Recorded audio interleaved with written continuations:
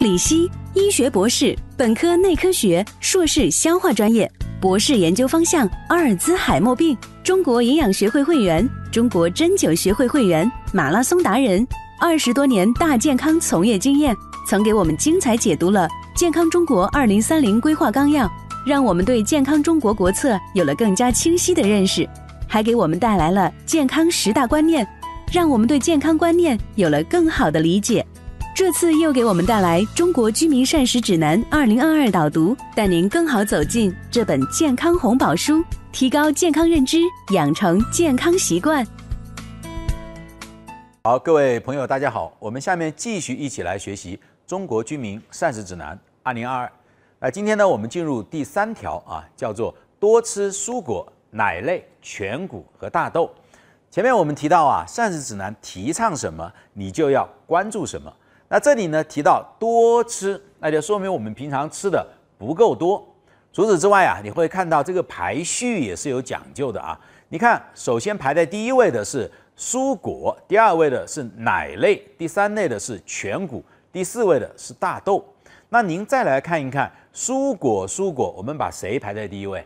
对，把蔬菜放在水果的前面。那带着这些问题，带着这些认知，我们一起来看看。这个第三条的内容，那健康中国二零三零提过这样一句话，叫做推动人人参与、人人尽力和人人享有啊，落实预防为主，推行健康生活方式。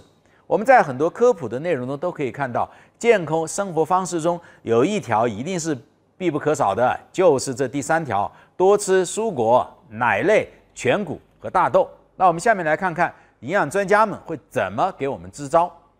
那里面的核心推荐会提到几个关键词，叫做餐餐有蔬菜，天天有水果。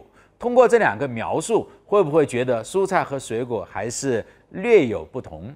那其中提到啊，喝各种各样的奶制品，其中相当于每天三百毫升以上。哎，大家通过前面的学习就知道了，以上两个字又给我们一个认知。如果您只喝到了三百毫升，对不起哦，你可能才六十分啊，因为后面有一个以上。那经常吃全谷大豆制品，坚果怎么吃呢？坚果是要适量。今天在我们生活中，我们看到各种各样的坚果的这个店也特别多，一小袋一小袋的，食用起来特别方便。嘿嘿，小心啊！膳食指南给我们的建议是适量吃，意味着就是什么？不要吃多了。那我们来看啊，我国居民在蔬果、奶类、全谷和大豆的摄入状况是怎么样的呢？那我们蔬菜摄入量逐渐下降，所以膳食指南要建议多吃。除此之外呢，我们会觉得，哎，生活水平提高了，我们的这个水果呀、奶类啊这些会不会吃的比较多呢？看看我们调查的结果，水果、奶类还有全谷和大豆摄入量仍然处于。较低水平，所以我们整个的饮食方式啊，其实我们应该有一个整体的了解，就是动物性食品吃的越来越多，蔬菜类呢下降，水果、奶类、全谷、大豆还处于较低水平呐，要尽快把它提升起来。那究竟应该吃多少？就应该怎么吃？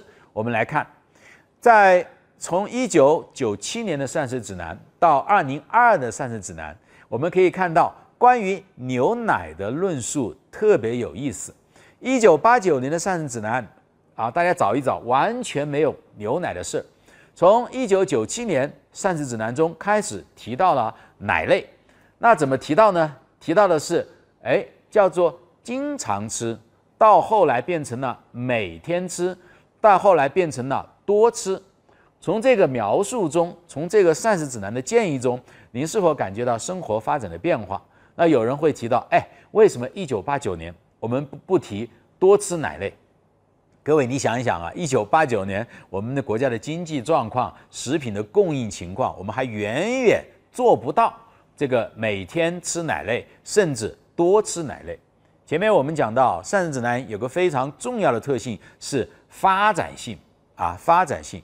如果您的健康认知，如果您的健康行为已经远远走在膳食指南的前面，远远走在身边人的前面，那我恭喜你，那你的健康的成果也一定走在前面。那么这里又提到啊，健康标准是不断提高的啊。我们说健康的标准不断提高，从平均寿命七十岁、八十岁到今后的越来越高。那么奶类，那我们对这个食物的认识是怎么样的？奶类呢是优质蛋白质，注意蛋白质前面还加了一个优质，还有维生素 B 二，尤其是钙的良好来源。那我们知道蛋白质和钙这两个营养素，就是我们考核一个奶制品最重要的指标，也是我们摄入奶制品最主要的补充的营养素。那么我们看到膳食指南从一九八九年压根儿都没有提奶类，到一九九七年提到的是常吃，到二零零七年呢提到的是每天吃，到二零一六年提到的是多吃，到二零二零年也是多吃，但是二零一六年提到的是每天饮奶三百毫升，到了二零二二年就变成了三百毫升以上，所以。从这个微妙的变化，大家是否感觉到健康标准是不断提高的？如果您在一九八九年那个时代，你就每天喝牛奶三百毫升以上了，那我就恭喜你，您的生活水平、您的健康认知、你的营养摄入一定是走在时代前列的。所以我们要用动态的和发展的观念去看待营养标准，还有我们的饮食摄入。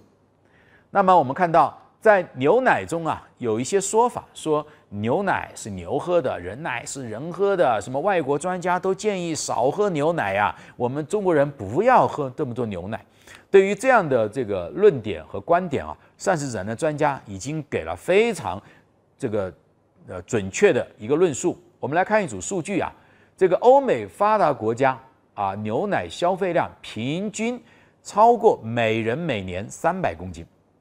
啊，这什么概念啊？几乎一个人每天一斤奶以上。我经常呃出国也会感受到这一点啊。每个去超市的人，他的这个购物车里面一定会拎几桶牛奶，每个家庭的冰箱里面一定都有几大桶的牛奶。而我国现在情况是怎么样？我们看一看，我国居民现在的牛奶的饮用量，每人只有二十一点七公斤，啊，和发达国家相差十五倍之多。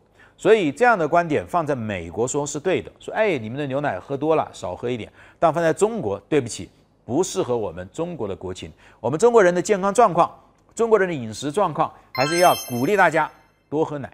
当然，你也不要指望喝一天的牛奶，你的骨骼就充足；喝一天的牛奶，你的蛋白质就充足。这里呢，还是要遵循我们提到的长期主义，还是要遵循我们的充足观念，还是要遵循因人而异。而如果你喝牛奶拉肚子，那你可能就要换选择酸奶，是吧？如果你乳糖不耐受的话，所以这里面也有很多很多小的方法，还有一些建议。那么蔬菜水果啊，都是我们生活中知道，常吃蔬菜水果对身体好。那蔬菜水果呢，主要是提供维生素、矿物质、膳食纤维，哎，还有这些东西。那么尤其提到啊，有一种叫做植物化学物。那什么叫植物化学物呢？那我们前面聊到啊，科学家目前研究的七大类营养素，以及人类必需的四十多种营养素，这可是经过了科学家几百年的研究。但是对不起啊，食物中除了这四十多种必需营养素以外，还有一大类物质啊，它的含量非常非常的小，而且呢，它不稳定，所以它研究起来比较难，发现呢比较晚。那科学家后来发现，哎，这些东西。诶，如果把它运用的好，对我们的健康来说非常非常重要。所以植物化学物呢，我们会看到科学家对它们定义是已知必需营养素之外的化学成分，它具有多种功能。我们来看看抗氧化作用。诶，我们女孩子特别喜欢跟皮肤有关。诶，抗氧化作用跟我们的心脑血管疾病也非常有关呢，跟我们的衰老也非常有关，跟我们的癌症也非常有关。除此之外呢，还有抗炎、免疫调节，这都是一些慢性病的重要的一些机制或者功能吧。所以你会看到，随着科学家的研究不断的深入，那么有些这些植物营养素已经作为保健品的功效成分，已经广泛应用啊，我们在市面上看的一些保健产品中就有这些植物营养素。那么它研究、它运用，能够起到保护人体健康，尤其是预防心血管疾病、癌症等慢性病的作用。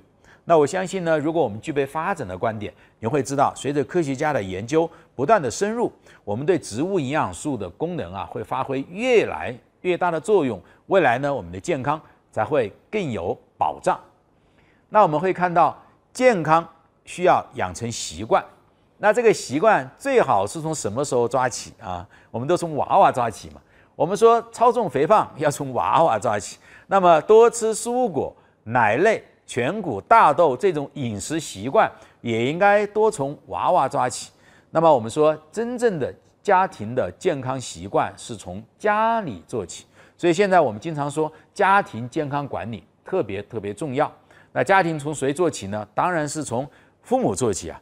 如果父母采购食物、选择食物、烹调食物里面有足够多的蔬菜、水果、奶类、全谷和大豆，让我们孩子从小。养成这样的饮食习惯，那么慢慢慢慢的，他的这种饮食的模式就会确定起来。所以，家庭健康管理也是我们膳食科学非常重要的一个落地点和落脚点。